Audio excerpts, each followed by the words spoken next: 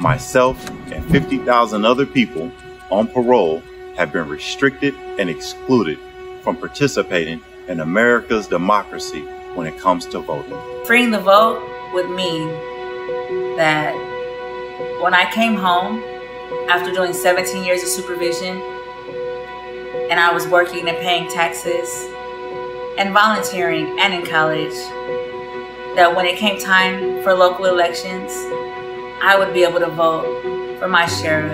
Creating barriers to regain voting rights penalizes people after they've paid for their mistake. Help ensure that people like me, those who have had felony convictions in the past but have changed for the better, have the ability to go out, vote, and have their voices heard.